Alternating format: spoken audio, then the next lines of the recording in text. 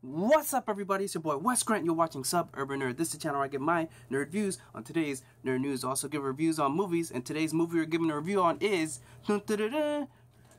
Creed 2.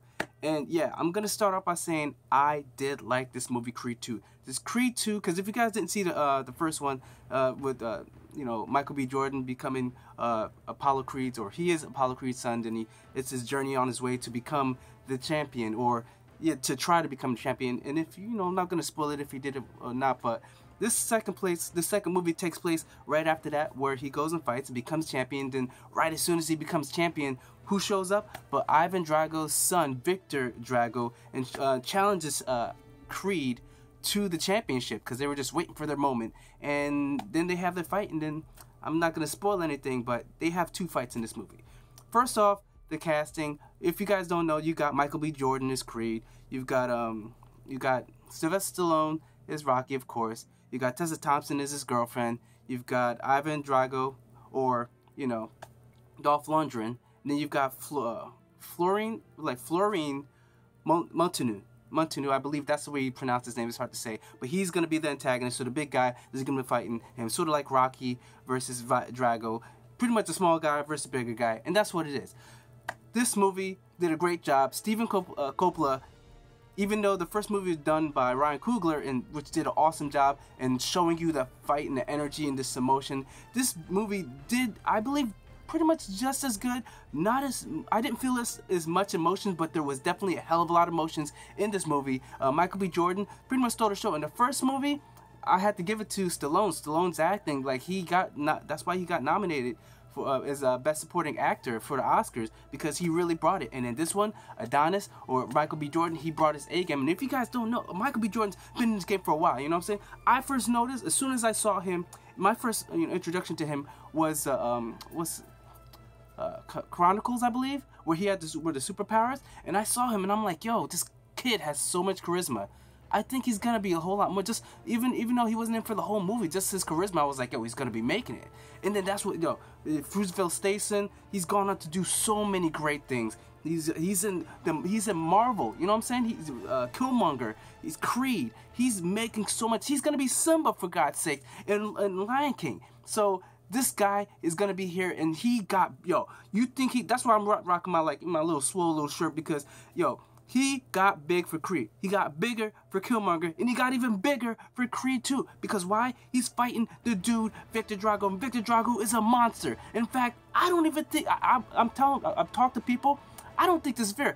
I don't think they're in the same weight class, bro. If, if, if, if what's the name's in heavy, is, if, is a heavyweight champion, Viktor should be the super heavyweight champion. He should not be challenging him. But overall, this movie was great. I love the montages. Uh, montages are what I live for the Rocky montage when he was going to train to fight Ivan, when he was going up the mountain, and I was expecting the same thing, but they did a little twist, and instead it was in a desert, but I liked what it is, like the training, and you showed that it paid off in the fight against Viktor. When he fought Viktor, the intensity, the emotions, I wish they showed a little bit more fighting because it was so intense in those hits, and when Rocky was fighting and took those hits in all his movies, it it, it didn't look like it hurt. He would, oh, but except when, yo, when, when, um, when Michael B. Jordan takes a hit, it looks real. it looks like it's hurt. When he gets hit in the ribs and the, you heard that sound, oh my god! And all that just this movie does so much for people. It makes you just believe that there's so much more things out there that makes you not like the, the main reason or the main thing that it teaches you is do not give up. He's fighting for something. He's not just fighting for himself. He's not just fighting for for other people for the for the for the acknowledgement. He's fighting for his family. He's fighting to live his own legacy because you know what? That sometimes is one thing that we all forget. We don't always want to live in it like you can have all the things in the world. You can have the most successful parents, but you want to leave your own legacy. I want to live a legacy, something that people remember me for. And that's what I bring away from this movie. This movie does such a great job in bringing it down and make you think about what's important to you. So, that's all I have to say. This movie was great. Um, I'm not sure if I will get. I think I might give it a slight edge to the first one because it's bringing it back and just how he just brought everything back around with uh, um, with bringing Creed or the the Rocky because Rocky after Rocky Six, people thought it was done, but somehow he brought it back, and Ryan Coogler did a great job, and I can't wait to see what happens in the next movie. So, because there are talks of a sequel. In fact, Dolph Lundgren is talking about maybe showing the the uh, the spinoff of him because they show you what happened to Ivan Drago after the whole Rocky thing, and I loved that. I loved seeing that it wasn't easy. Once he lost, he lost everything. The the, the mom lost, or the, the mom left after she had the kid, and Ivan had to raise his son by himself because Russia turned their back on them. And and meanwhile, you've got Rocky just living it up, became becoming an icon, becoming someone that everyone loves.